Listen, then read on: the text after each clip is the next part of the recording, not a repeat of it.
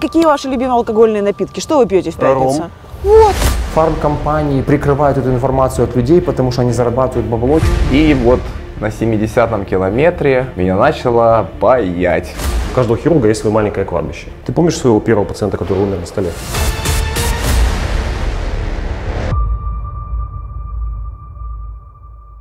Привет, меня зовут Роман Кириллович, это Франч ТВ. Как же я все-таки рад вернуться на ютубчик с новым сезоном, сезоном экспериментов. И сегодня у нас выпуск, который вряд ли бы появился раньше на нашем канале, потому что он в первую очередь связан с бегом а я, как вы понимаете, вообще не бегун. Но все началось на самом деле с компании «Новая почта», которая, как вы помните, является клиентом Франча. Мы им в далеком 2014 году помогали запускать, создавать, перезагружать, улучшать их франшизу. Сейчас это компания, у которой более 7 тысяч отделений, большая часть открыта по франчайзингу, кстати. Это компания, которая является, ну, знаете, ксероксом в сфере логистики и доставки, то есть очень плотно ассоциируется с этой сферой. Но помимо логистики, новая почта сейчас это еще и бег. Дело в том, что компания уже много лет инвестирует деньги, время и свою энергию в то, чтобы популяризировать бег в Украине. И сегодня мы поговорим с, с основательницей новой почты Инной Попельшнюк о том, зачем эта компания, что это ей дает и ради чего они, собственно, занимаются развитием бега в Украине. Кроме того, у нас будет совершенно невероятный спикер, герой Александр Стаховский, хирург, онколог, человек, с которым мы пообщаемся на тему, о которой иногда даже думать не хочется, о раке, который является одной из самых распространенных причин смерти человека. И третьим нашим героем станет Сергей Прискорник, которого еще называют «бегущая борода», человек, который пробежал 150 километров от Харькова до Полтавы. В общем, как вы понимаете, у нас будет совершенно необычный, но я вас уверяю, интересный выпуск Франч ТВ. Поэтому подписывайтесь на канал, пока еще горит красный сигнал светофора, сделайте вашу кнопочку подписки не красной, а серой. Пора ехать. А,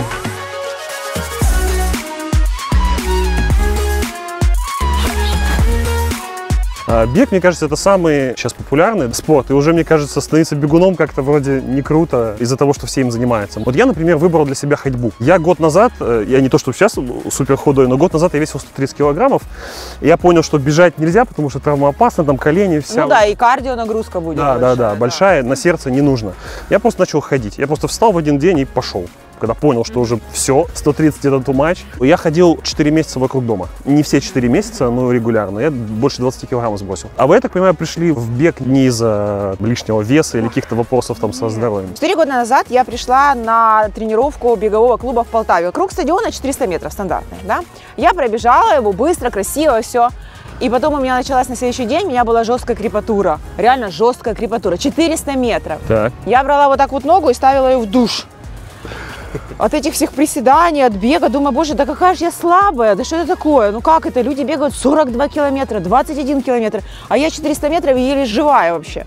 Я поставила себе задачу, что все-таки я сильная, вот, и, и я э, буду стараться бегать каждый день. Я спорт ненавидела всю жизнь, я на физкультуру просила маму писать мне освобождение, они мне писали вот эти записки там. Я боялась очень физруков, я боялась каната, и поэтому я никогда не любила физкультуру, да. И вот «Новая почта» была титульным партнером киевского полумарафона много лет. Я как э, представитель компании пришла, часто ходила на открытие. Мы с Дмитрием Черницким там выдавали старт, стреляли, говорили напутствие бегунам. И я пришла к Диме, и э, вот, он мне подарил, помню, кроссовки беговые Adidas. И там я купила лосины первые.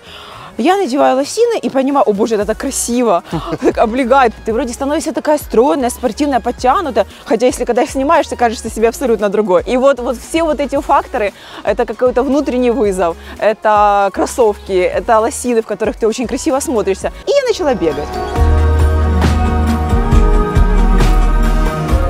Э, недавно случай был, но я не буду называть, кто это, ну, в общем, назовем так, одна знакомая, у нее были какие-то проблемы, они долго не могли выяснить, что. Больно ходить, э, там, походил, лежишь потом 8 часов. Пока домработница не сказала, слушай, я вот эту симптомы видела в «Докторе Хаусе» в такой-то серии, она Нет. пошла, Нет. посмотрела, Нет. и, и, и так оно оказалось. Потом в Германии как бы лечили. Прикольно. Вопрос в том, что в «Докторе Хаусе» очень много, конечно, реалистичных историй, они хорошо подбирали, но, конечно, вот эта вся сопровождивка, там, УЗИ какие-то там операционные, это, конечно, такой полный Ну, такой фарс, история. такая киношная, что врачу, конечно, не особо. Но общение врача с пациентом И вот этот вот э, у, у доктора Скауза очень хорошо описаны пациенты, которые чуть-чуть выходят за рамки э, адекватных людей, у него же там крайние такие крайние крайности очень большие. Там, конечно, очень много юмора, очень хорошо. То есть это можно перенять, конечно, это не нужно для меня, потому что я с онкологией работаю в первую очередь, но это очень интересно. Грубо говоря, в нашем организме есть постоянный э, рост новых клеток. Мы сейчас стоим, снимаем интервью, у нас растут клетки. Растут клетки. У нас, я тебе скажу больше, у нас есть клетки опухолевые, которые рождаются в организме и которые в этот же момент иммунная система наша убивает. Постоянно это тоже происходит. В какой-то момент, где-то происходит надромный момент, когда иммунной системе уже справиться очень-очень сложно, она не успевает каждую клетку перекрыть, и где-то одна клетка выстреливает. И вот когда эта одна клетка выстреливает, может произойти то, что она себе одна, потом их две, потом их пять, десять, и они все имеют свойства вот этих вот неконтролируемых организмов. Внутренний Майдан. Да, да, да, да, да. Всегда намного легче оперировать спортивных людей, чем толстых, которые о себе не заботятся, там сахарный диабет. Ты можешь даже подумать банально. У тебя есть, например, какой-то орган, который тебе нужно удалить. Например, плохая почка поражена опухолью. У толстого человека для того, чтобы сделать этот банальный разрез, у него еще надо преодолеть 15 сантиметров жира. Соответственно, чтобы достигнуть точки, которая находится, там, пускай 15 сантиметров от поверхности, еще плюс 15 жира, тебе нужно из разрез делать дольше, потому что тебе же нужно что-то увидеть там. Тебе нужно это развести. Чем больше этого жира западает, туда тем сложнее. Почка, соответственно, тоже вся в жиру там. В общем, худейте, чтобы вам, вашему хирургу было проще Худейте, чтобы не заболеть. А- отрезать вам какую-то почку там или что что вам не надо. Смотрите, худейте, чтобы не заболеть, потому что люди, у которых повышенная масса тела, они, к сожалению, имеют более высокий риск заболеть онкологическим заболеванием. Я бегаю очень много, и э, я являюсь, вхожу, точнее, в ассоциацию, секундочку, серийных бегунов, почти как убийцы. Вот. А это всемирная ассоциация, в которую входит всего лишь там 400 с чем-то человек. И я, В мире? Да. И я один из них.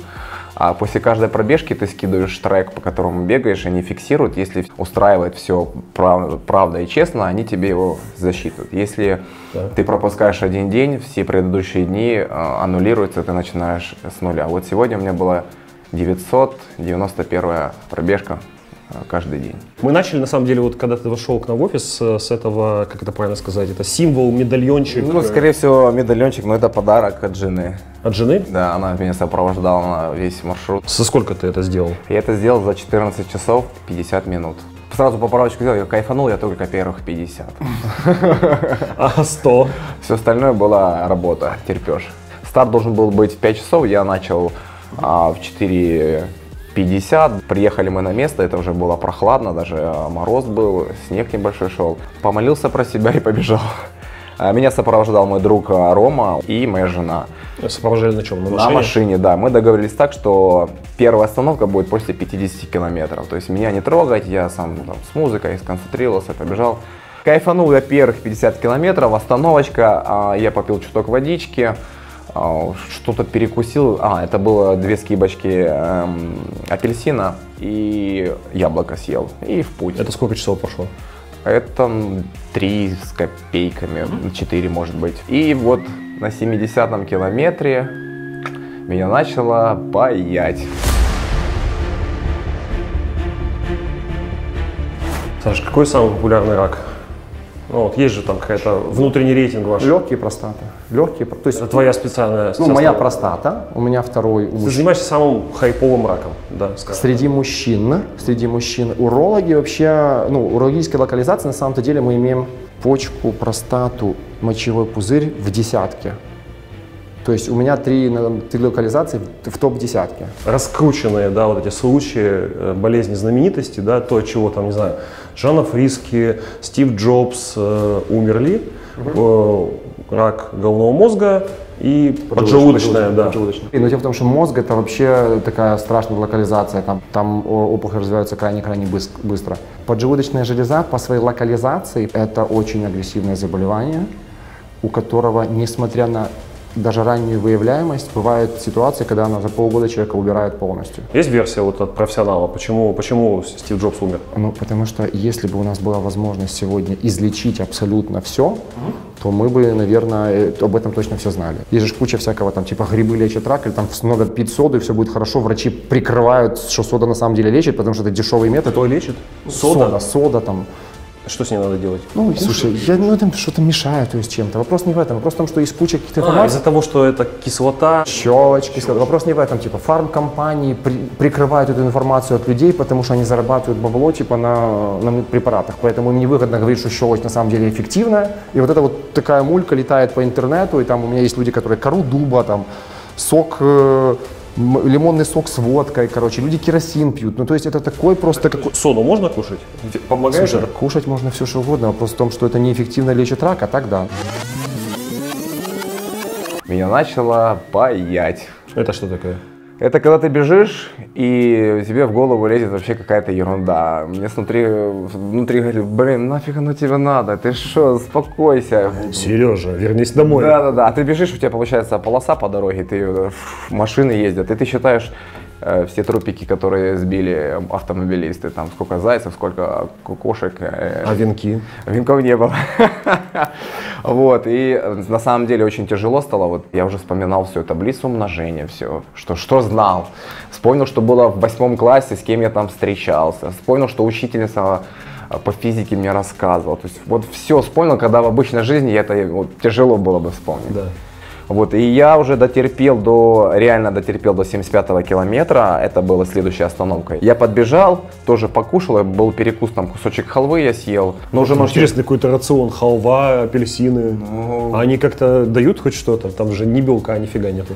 Самое главное, чтобы что-то засыпать. Ты когда бежишь, я как в печку насыпаю, и оно сгорает, сгорает, сгорает. Просто калории. Да, да, попил водички чуть-чуть и побежал. Э, Вот, ближе к сотке меня уже встретили ребята с Полтавы. Мы уже вместе бежали втроем э, до Полтавы. Мы закон финишнули на Полтавской ротонде возле памятника с галушками. А Ребята с Полтавы пригласили домой, я сразу в джакузи ушел, мне насыпали вот такую вот тарелку пасты со всем, что там можно было, сок такой, салат. Я съел все за один присед, вот так. Если по цифрам, то я потратил почти 10 тысяч калорий, похудел на 5 килограмм, чуть-чуть устал и домой попал в 2 часа ночи. И на следующее утро я уже потрусил а 7 километров уже в Харькове. То есть я не мог пропускать дни э, бега. Если пропускаю, мне, мне аннулируют. Дисквалифицируют. Да. Бег у меня каждый день вечером. Я бегаю после работы. Я не могу бегать утром. Я вот вечерний забег, я всегда отдыхаю. Я расслабляюсь после работы. Ты напряженный рабочий день. Коммуникация с тысячами людей, там, сотнями, да, у тебя встречи, звонки. Ты тратишь на это кучу энергии. Я кроссовочки раз, спортивную форму, выхожу, я даже наушники не беру, да музыку не слушаю. Я полностью остаюсь а, наедине со своими мыслями. Не скучно? Вообще не скучно. Ты остаешься сама со своими мыслями, а в голове их, у меня их очень много. Я свой благотворительный проект э, команды «Черенки» придумала, вот когда там бегала, гуляла, да, потому что у тебя, у меня наоборот, у меня очень много идей. В беге придумала сделать совместные там а, званые ужины в нашем ресторане мы будем делать, да, я хочу там развивать украинские семейные ценности в ресторане. И это Я не могу просто, просто так, так весело катится. помочь может. Вообще, му- мужик потерял ножку от стола, и стола. она вот стала нашим участником нашего интервью. А, Я планирую иногда даже вопросы на собеседование, которые у меня будут на следующий день там с кандидатами. В новой А, почте или в В новой ресторане? почте, в новой почте. Вы собеседуете людей там? А В новой почте? Да. Конечно. Я, ну, понятно, я не собе... Раньше я собеседовала рядовых операторов, рядовых менеджеров, Так. бухгалтеров. Сейчас я глава кадрового комитета в наблюдательном совете группы, и я собеседую топ-менеджмент. Вот завтра у меня собеседование топу. Что бы вы посоветовали этому человеку? Он не увидит этого интервью до завтра, но не Вообще расслабиться. Я никогда, никогда не заставляю людей нервничать на собеседовании. Я считаю, что они сами нервничают. Они нервничают, это стресс, они волнуются, поэтому ну зачем? Я, я вообще могу задавать вопросы на собеседовании, которые абсолютно отличаются от там э, э, э, каких-то например? функционалов. Например, какие ваши любимые алкогольные напитки? Что вы пьете в пятницу? Ром. Вот, все, пошли разговор. нормально? Это нормально. Это, Окей. Да, если вы сказали вино, пиво, виски, водка, это ваш выбор. Ничего страшного. Это пейте. тоже, но Да сначала ром. пейте ром. И у нас идет тогда разговор. Плюс я обычно спрашиваю у людей, еще такой мой любимый вопрос, это назовите свои слабые стороны. Люди называют, да, э, смелые люди об этом говорят. Они говорят, что, учитывая то, что я иду на топовую позицию, там, я буду менеджером, управленцем, но у меня там проблема с... э, Клептоман я. Да, А, я еще очень люблю на собеседованиях, когда, когда люди говорят, я не бегаю, но начинаю, я буду бегать. Это вот. Они ваш- да-да-да, посмотрели да, ваши- да-да-да, ваш они Facebook. смотрят Facebook, Instagram и такие, я не бегаю, но я буду бегать. Я обещаю, буду. Говорю, не надо, пожалуйста, не надо бегать. Я помню, когда мы провели в Полтаве 6 лет назад первый марафон, это было 600 человек, без каких-либо пиар-компаний, без какой-либо там маркетинговой поддержки. Там 600 человек, город Полтава, где население 300 тысяч. Вы знаете, у меня, сейчас говорю, у меня вот такие мурашки радости. Я пришла домой, я на таких, я такая была счастлива, мне казалось, это вот самый счастливый мой день, да, вот мы идем правильно, надо идти дальше, это круто. Открываю Facebook, писать вот эти эмоции людям, рассказать. И тут я начинаю читать. Да вы, да вы перекрыли дороги, да горите вы там, да вас бы, да что вы, и давай вот эти вот э, такие гнусные комментарии этих людей. Я очень волновалась, но сейчас, вы знаете, э, каждым годом мы перекрываем дороги уже в 12 городах Украины. Уже с 12 городов пишут. Оно пишет уже все Количество хейтеров и увеличилось. меньше.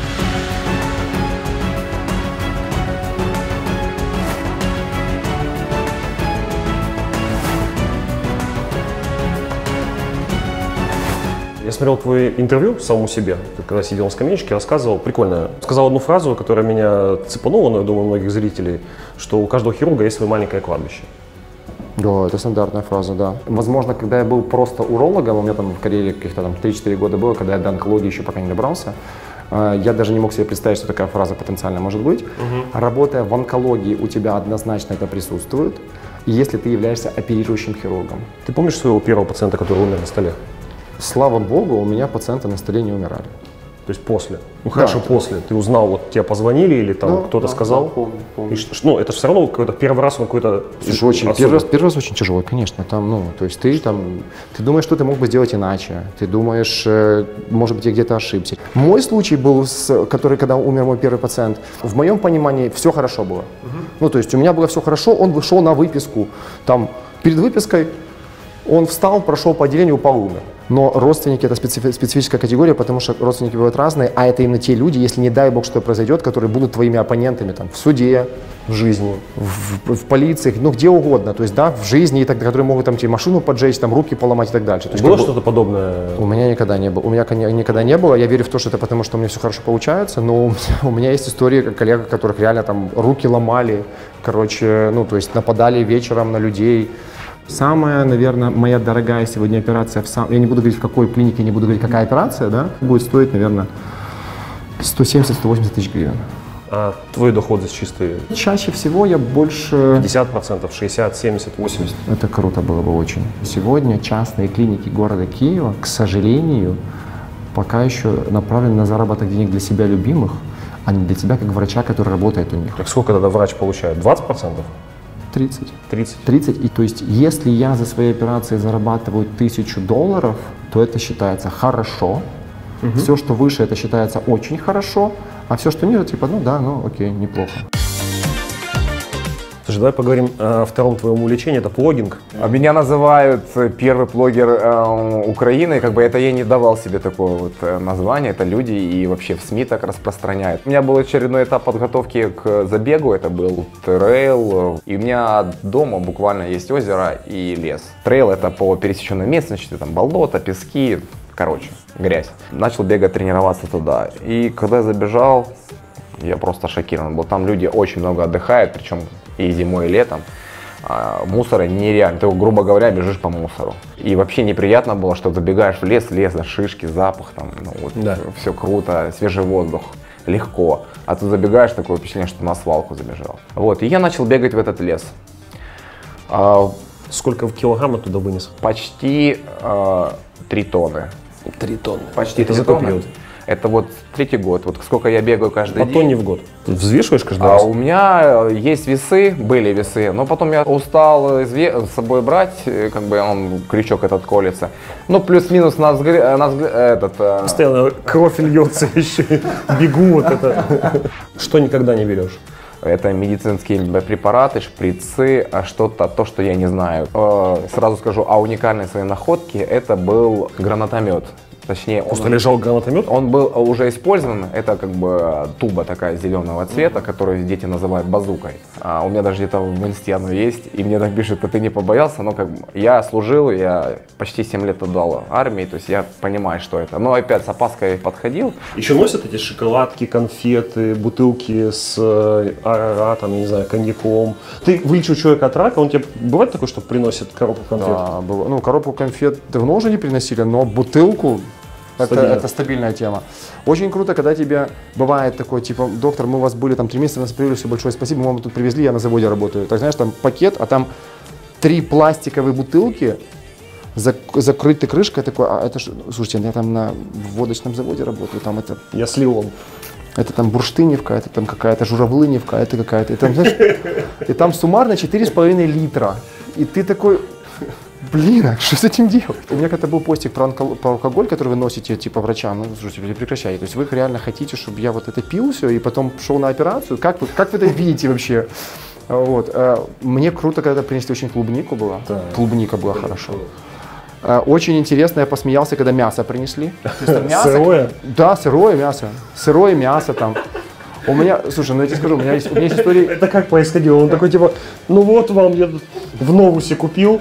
ну, типа доктор, там мы вам при, при- Пакетик. свеж- свеже- свежину привезли. Ну свежину это же свежина. Вы нас вылечили, а мы тут свинью убили, да, вот принесли вам. Все время, которое я занимаюсь блогингом, было очень много уникальных находок, не считая э, гранатомета э, в базуке.